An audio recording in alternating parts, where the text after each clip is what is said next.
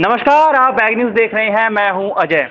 वैसे तो शैक्षणिक संस्थानों की भरमार है, लेकिन कोई कोई टीचर होता है जो किसी खास सब्जेक्ट पर अपनी छाप छोड़ पाता है। और ठीक इसी तरह कैथल शहर में physics classes by Sohan Punia, आपने नाम ज़रूर सुना होगा। तो इस संस्थान के बारे में, टीचर्स के बारे में एक बार जानने के लिए चलते हैं ऊपर।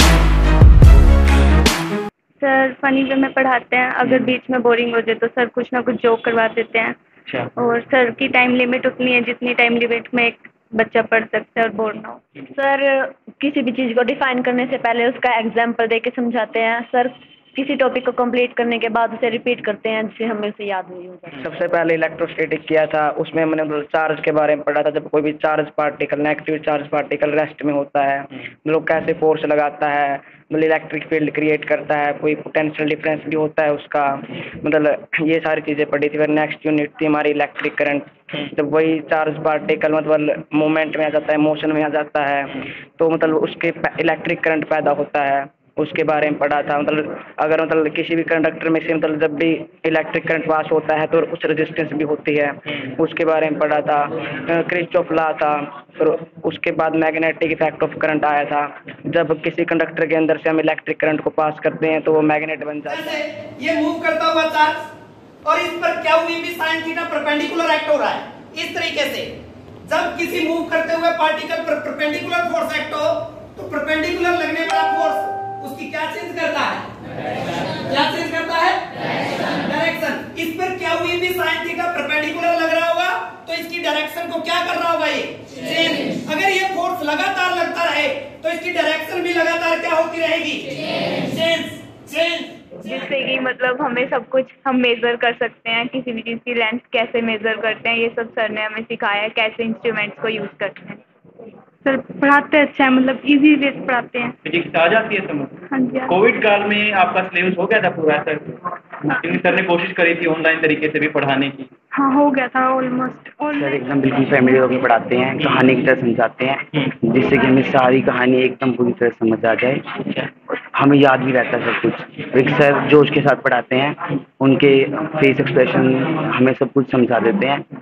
और जब भी मतलब कोई बच्चा ऐसे समझ नहीं पाता तो उसको दोबारा क्वेश्चन पूछ पूछ के उसके पास आते हैं उससे क्वेश्चन पूछते हैं और दोबारा रिपीट भी करते हैं। बोर तो नहीं करते सर नहीं बोर नहीं बहुत फनी वे में समझाते हैं।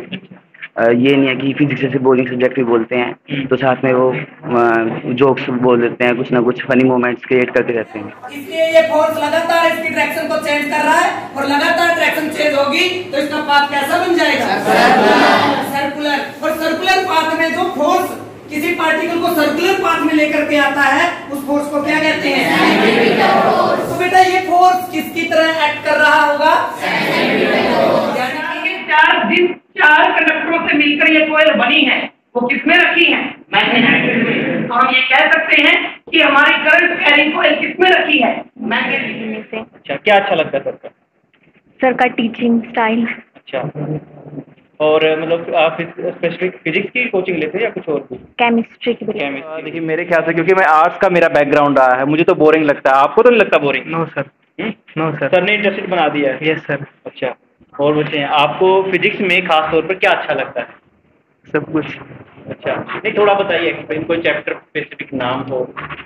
क्योंकि सर तो सर का जो तरीका है हर चीज़ को इंटरेस्टेड बना देते हैं। वो बच्चे पे डिपेंड है उसको इंटरेस्टिंग मानता है या नहीं? बताइए थोड़ा सा। सब कुछ इंटरेस्टिंग बना देते हैं सर फिजिक्स कैसे बढ़ा देते हैं फिजिक्स यस सर इजी तरीके से और जो टीचिंग भी है सर का. अच्छा सर अच्छा. यस सर अच्छा आपको आ जाता है समझ? यस सर आ जाता बोरिंग तो लेता है फिजिक्स है नो अच्छा लगता है. अच्छा लगता है. हाँ। इंटरेस्टिंग लगता है. हाँ। रुचि लेके पढ़ते हो आप? हाँ पूरी.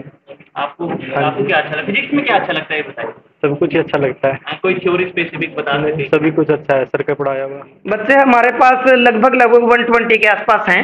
प्लस टू क्लास के तीन बैचेज हमारे पास प्लस टू क्लास के हैं। सभी बैचेज में लगभग लगभग किसी में थर्टी हैं किसी में थर्टी फाइव स्टूडेंट्स हैं इस प्रकार से हम तीन बैचेज में प्लस टू क्लास को पढ़ा रहे हैं और दो बैचेज में प्लस वन क्लास को पढ़ा रहे हैं। अब की बार ट्यूशन क्लासेज थोड़ा सा लेट शुरू हो पाई क्योंकि आपको पता ही है कोविड नाइन्टीन की वजह से क्लासेज नहीं लग पा रही थी। तो थोड़ा सा ट्यूशन क्लासेज लेट स्टार्ट हुई लेकिन हम सिलेबस को इजीली कवर कर लेंगे। फिजिक्स में आपकी स्पेशलाइजेशन है। आ, ऐसा क्यों? मतलब खासकर क्या लगता है आपको अच्छा? और बच्चों को आपको क्या देखकर मतलब बताइए। देखिए अगर फिजिक्स मेरा सब्जेक्ट है तो अंडरस्टूड सी बात है कि फिजिक्स ही मुझे पसंद होगी। और हर किसी इंसान को किसी ना किसी चीज़ की एक कशक होती है। बचपन से ही मुझे ना फिजिक्स की एक कसक थी। और उसी कसक की वजह से पढ़ाने का एक शौक था और वो पढ़ाने का शौक आज यहाँ तक लेकर के आया।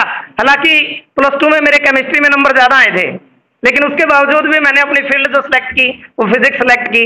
और फिजिक्स एक ऐसा सब्जेक्ट है जिस पर दुनिया टिकी है। हर जगह पर फिजिक्स होती है।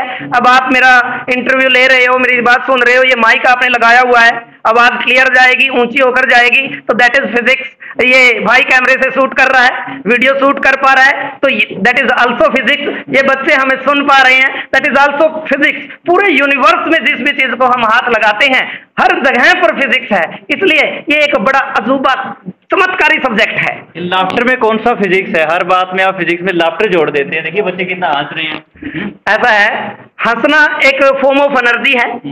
और जब हम हँसते हैं तो एनर्जी प्रोड्यूस होती है। ये बच्चे भी जब हम करवा रहे होते हैं तो हँसते रहते हैं बीच बीच में। इनके हंसने से हमें एनर्जी मिलती है। और energy can be convert from one form to another form इनकी एनर्जी इनकी स्माइल ही हमें एनर्जी देती है। और उसी एनर्जी के बलबूते हम इतनी एकाग्रता के साथ इनको पढ़ा पाते हैं।